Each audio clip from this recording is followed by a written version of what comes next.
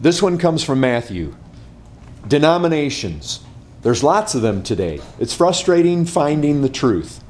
Is everyone wrong? There's only one truth, one interpretation, one right answer. How on earth do you find it? Think that's a good question?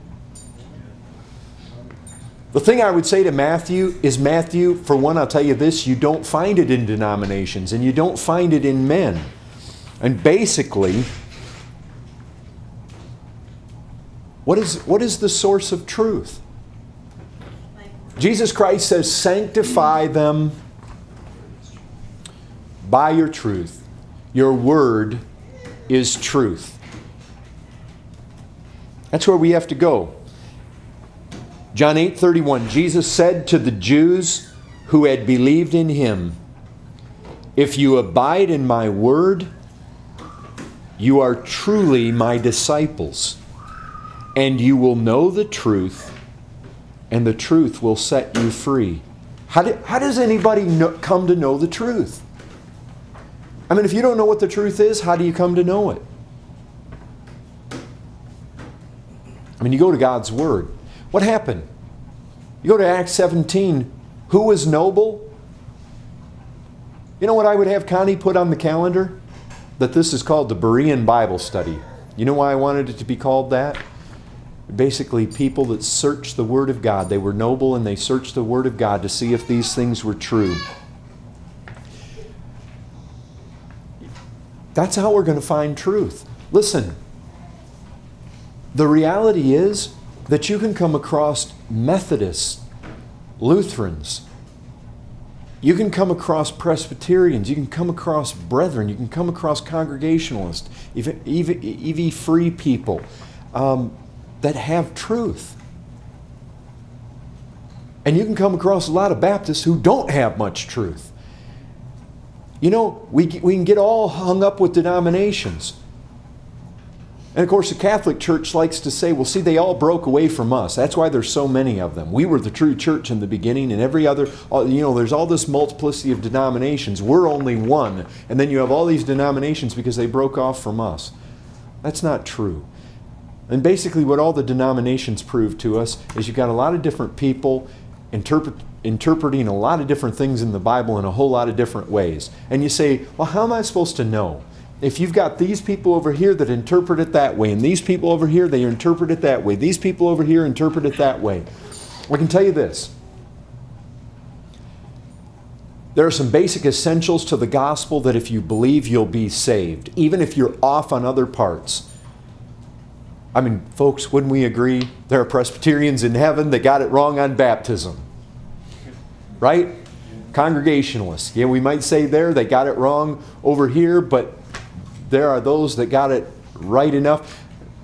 Folks, I'm reading right now about some Lutherans that had a whole lot right.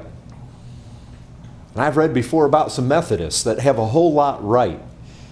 And, uh, you know, bottom line, how do we determine right and wrong? It's not by the denominational label that somebody holds. It certainly isn't. You drive down the road and you see a sign that says Baptist, and you can say, oh, they've got the truth. How do you know?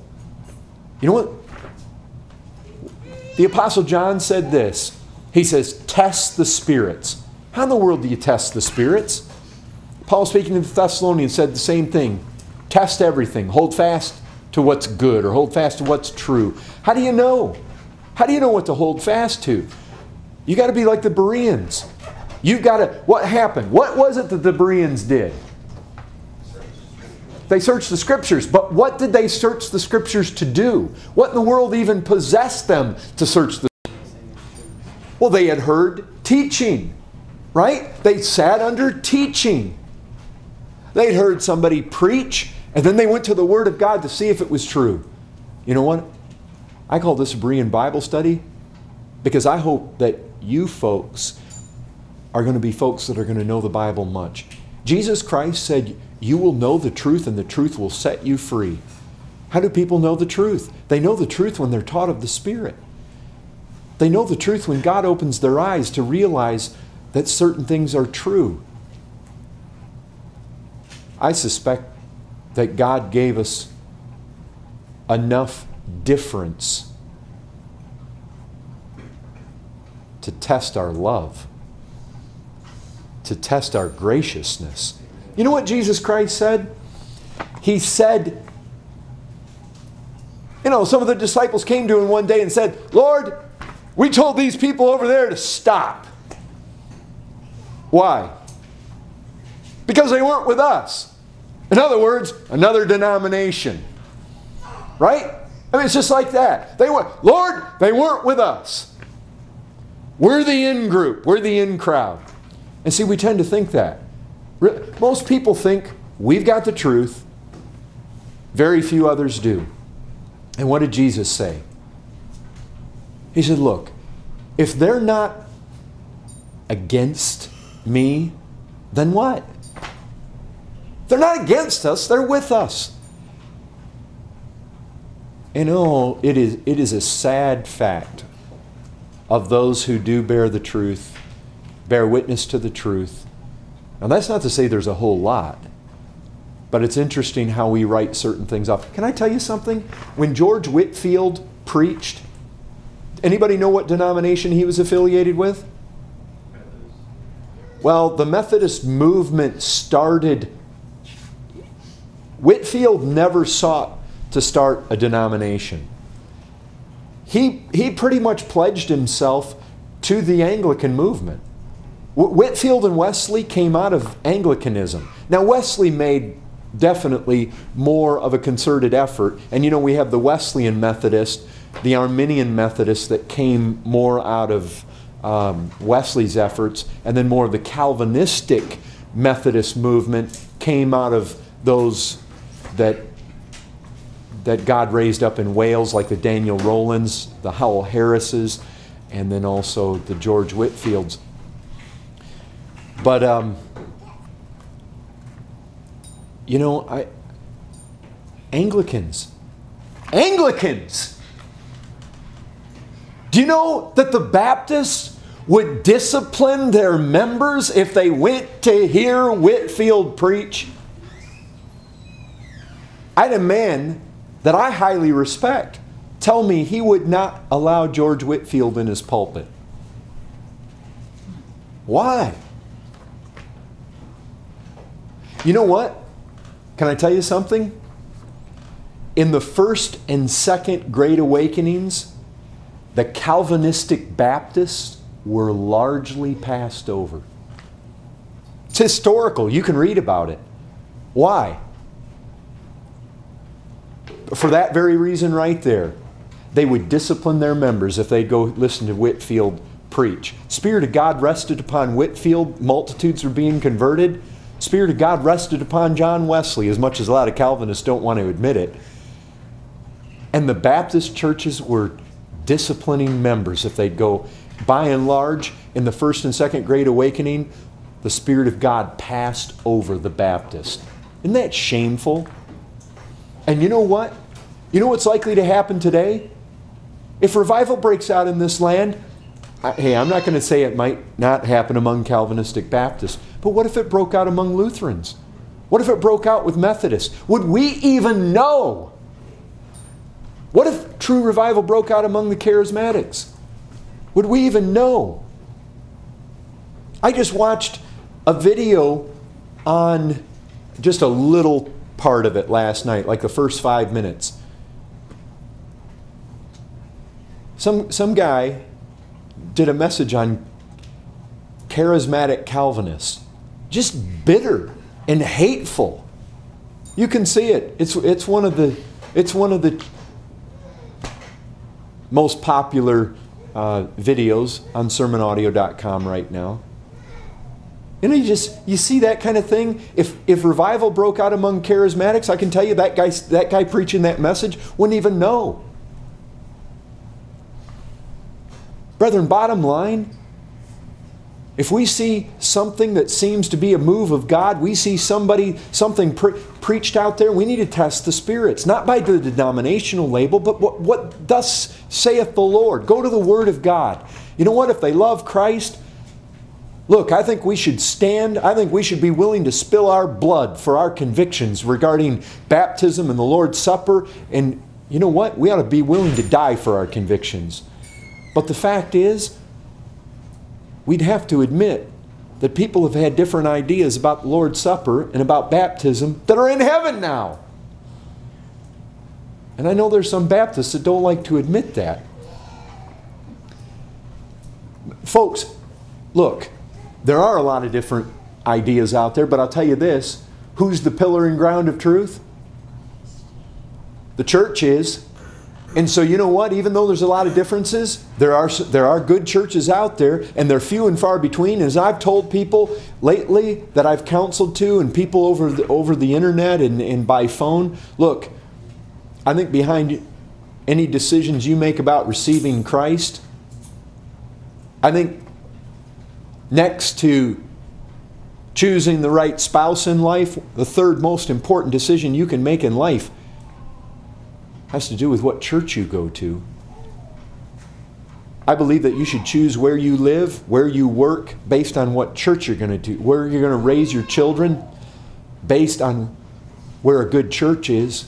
Because I'll tell you what, it'll have a lot to do with your life, it'll have a lot to do with your fruitfulness.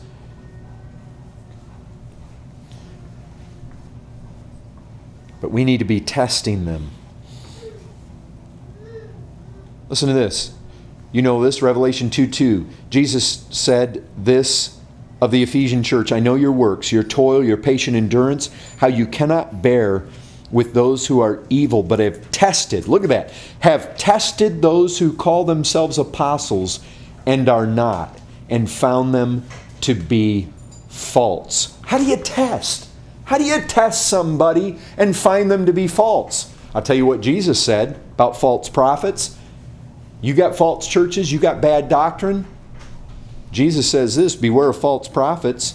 They come in sheep's clothing, inwardly ravenous wolves. How did he say we'll recognize them? By their fruits. I'll tell you this where you find unholy living, you've got bad doctrine, guarantee you. You want to know what's most important? What are the doctrines that are really essential? Let me just throw some off the top. The purse, listen, the devil attacks primarily in two places the person of Christ and the work of Christ. Guarantee it. And it's Christ. He is always the issue. So you want to look for good doctrine? You want to look for a good church? You want to look for a church that's truly, I don't care what the denomination is, you're looking for a church that is really a pillar, a ground, a buttress of truth. You're going to go in there and you're going to look at these two things. What do they do with Christ? His person. What do they do with Christ? His work. Guaranteed. The devil attacks in both places. You got false doctrine. What are they doing? Oneness doctrine. The Father is the Son. Rejection of the deity, the JWs. He's not God. There will be some rejection in his person. There will be some he you know what? The devil always goes after the glory of Christ. He wants to chop it down somehow. And then the work. What about the work? Anywhere where there's works, run for your life because it's damnable. Because the only gospel that saves is a gospel that is 100% based on the merits of Jesus Christ. That doctrine of justification is essential. We are justified by faith aside from any works of the law. And anytime people want to add to it, whether it's you got to be baptized.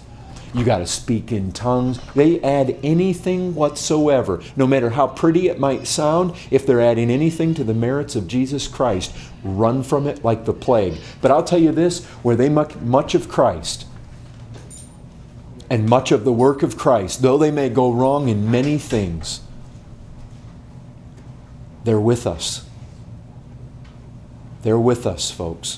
Where Christ is the sole basis of our acceptance with God, where Christ is made much of, where He's exalted, and where what's said of Him in the Scriptures is said of Him by that church or by that preacher.